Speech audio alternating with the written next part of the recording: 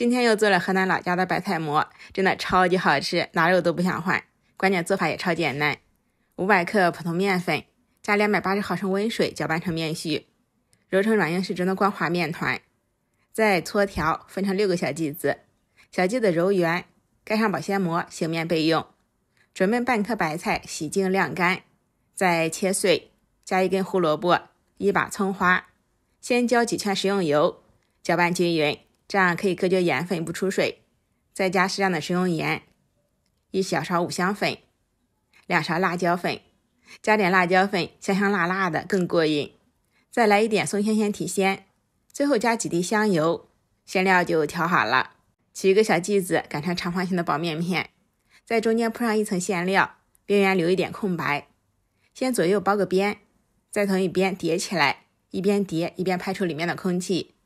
放在蒸屉上，水开上锅，大火蒸十分钟即可。这样做的白菜卷既简单又特别的好吃，喜欢就点赞收藏试做吧。